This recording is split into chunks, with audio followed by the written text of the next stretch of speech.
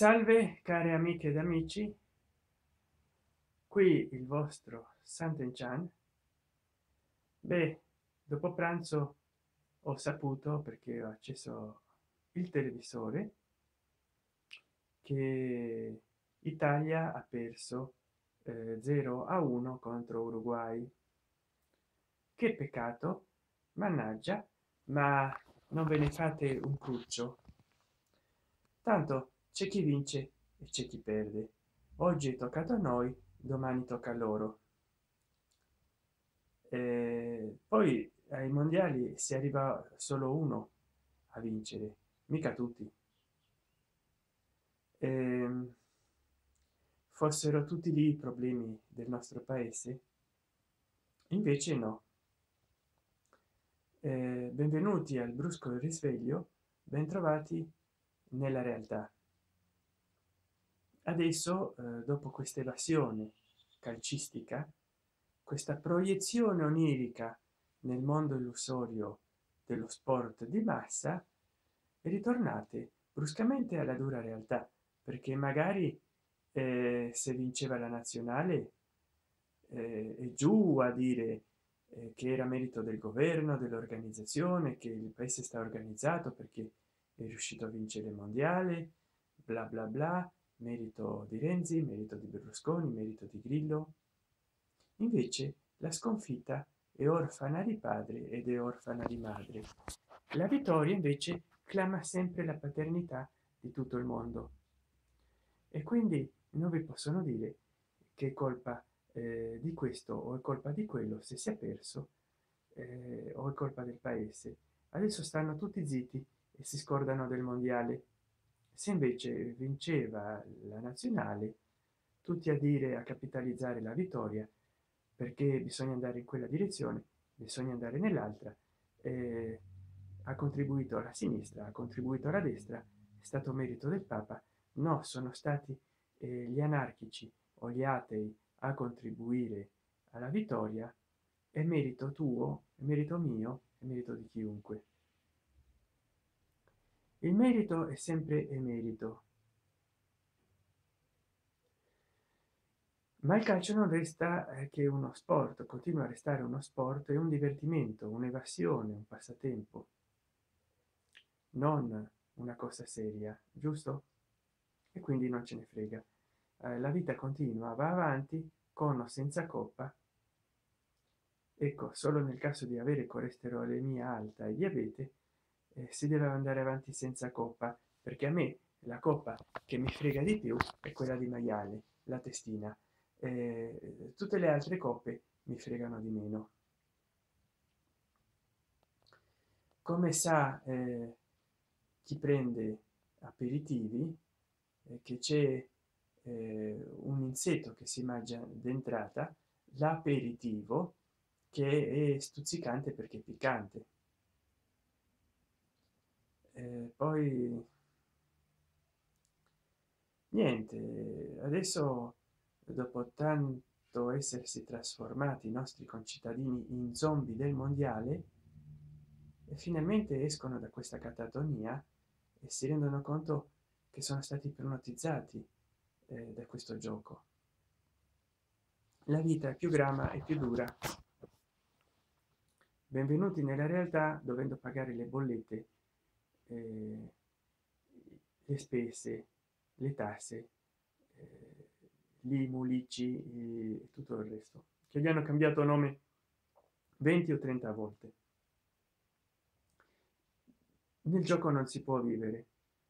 Forse qualcuno vive del gioco ma nel gioco non si può vivere bisogna ritornare alla vita reale. Quindi benvenuti a tutti voi dopo la delusione del mondiale.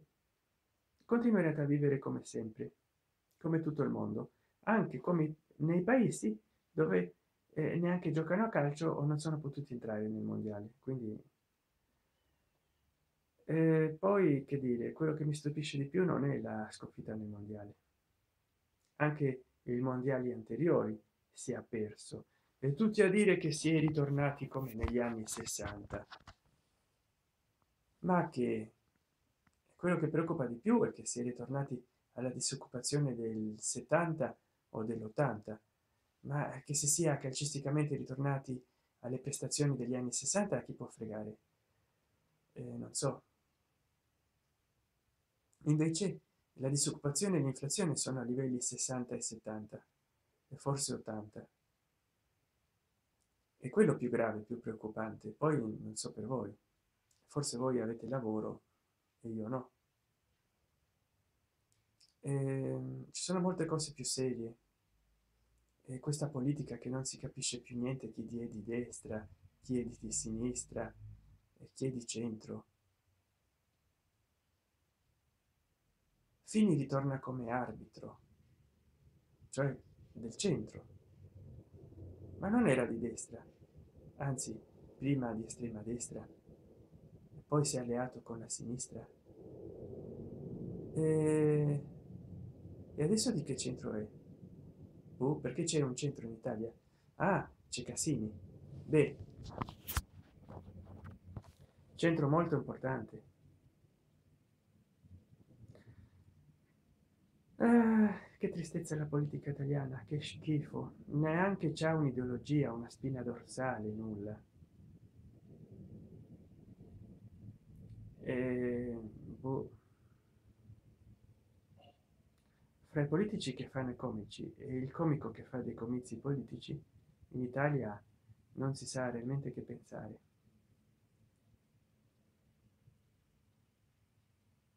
Si è perso la rotta non si ha più la bussola. Si hanno ammainato le vele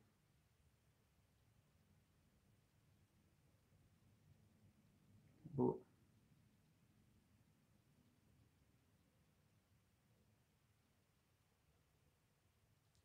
Eh, comunque sto leggendo perché è una delle forme migliori per evadere non lo sport spettacolo ma la lettura.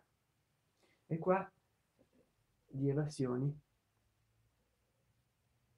ne ho davvero tante anni di evasioni. Soprattutto soprattutto dicevo eh, questi due libri sono in modo particolare eh, dei libri di evasione dei testi di evasione come potrete vedere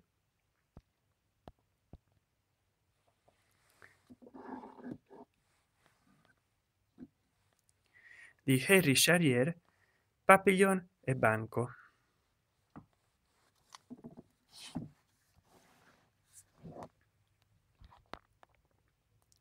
Henry Charrier, Banco, il seguito dell'avventura di Papillon, che è questo qua. E sono proprio dei libri di evasione. Eccolo qua, Henry Charrier.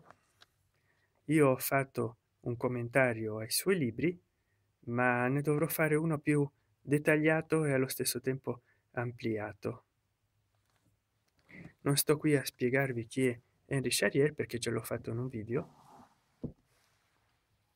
ma ne farò altri ecco se volete evadere dai problemi l'unica forma è di leggere.